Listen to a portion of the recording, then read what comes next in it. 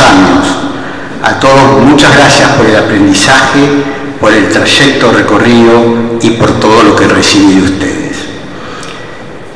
Muchas gracias, insisto, a los colegas presentes y particularmente personalizo a todos ellos mi colega por más de dos décadas en la Cámara, que llegaste casi tarde, Víctor. Eh, es el doctor... Son muy puntuales la En azul no es así. Víctor Peralta Reyes, con quien, insisto, estuvimos 20 años de recíproco enriquecimiento intelectual, de esfuerzo entusiasta, tratando de encontrar soluciones judiciales eficaces. Y a mis amigos, a todos, no los puedo nombrar, eh, a todos ellos, gracias por el acompañamiento, sobre todo para superar mi difícil enfermedad. Gracias a ustedes, entre otras cosas, estoy vivito coleando. Voy a dedicar este premio, esta distinción, que está buenísima, es hermosa, a la memoria de mis padres, yo les anticipé, yo les anticipé. Hilda y Mayo, tener que tener nombre de mis padres es el colmo, ¿no? Eh, Hilda y Mayo que sembraron el camino y me enseñaron el esfuerzo y el trabajo. A mi hermana María Hilda, no lloré, vos si no yo qué hago, eh, con quien además del vínculo nos hermana una vocación común. Confieso he intentado durante los casi 37 años de juez desempeñarme con la mayor idoneidad posible.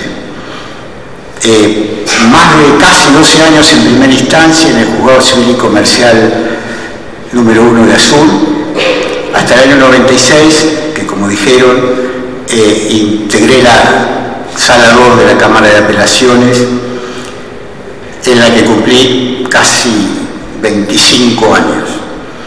Siempre tuve presente que mi función, mi trabajo, mi tarea era un servicio público, pues a través de la justicia civil, comercial y de familia se persigue la defensa de la libertad, la equidad, la igualdad, la convivencia social, como decían los antiguos, dar a cada uno lo suyo.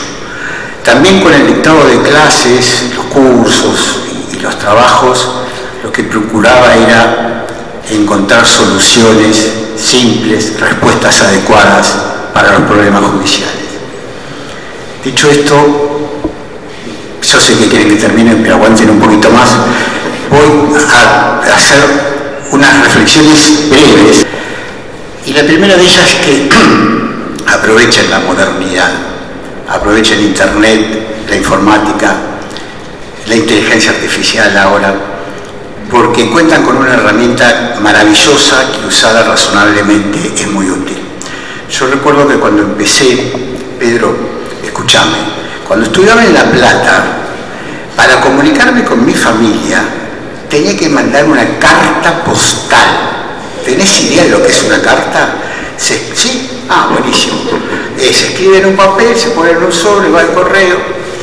Cuando dábamos exámenes íbamos a la unión telefónica a comunicarnos con la familia y una vez, muy cansado, me dijeron, o la barriga demora cuatro horas.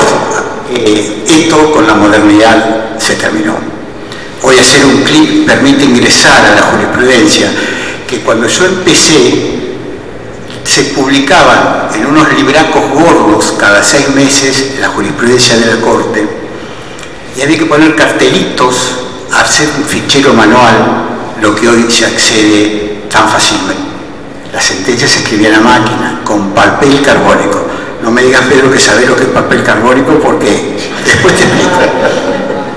Era la época en que no había divorcio vincular, no se podía, como se dice vulgarmente, volver a casar, no había nupcial lo que apareció en el año 87.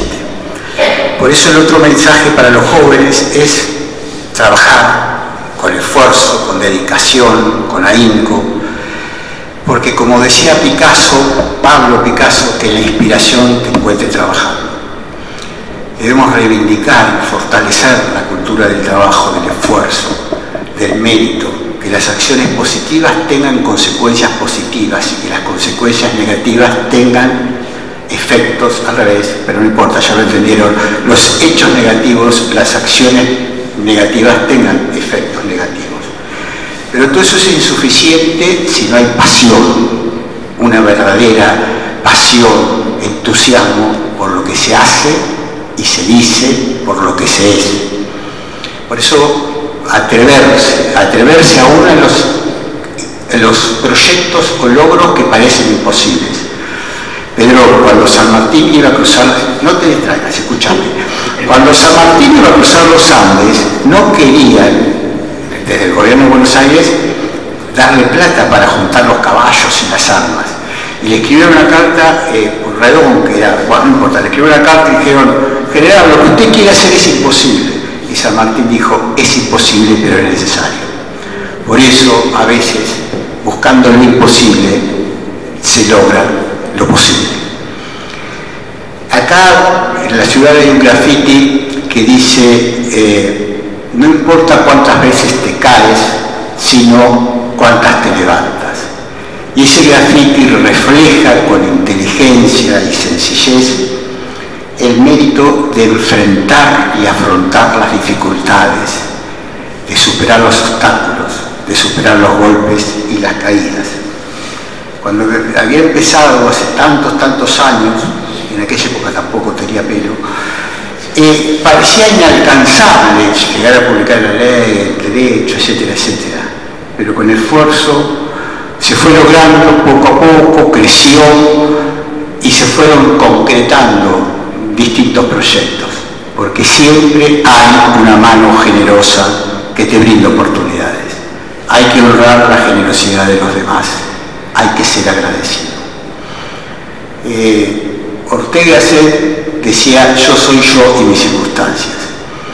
Eh, comenté que iba a decir algo a, un ateneo de hijos que se reunió y me dijeron, papá, muchas frases, pero yo está en contra de la voluntad de mis hijos, estoy exagerando un poco para distender o distenderme, eh, la quería citar porque ha sido un, eh, lema permanente en.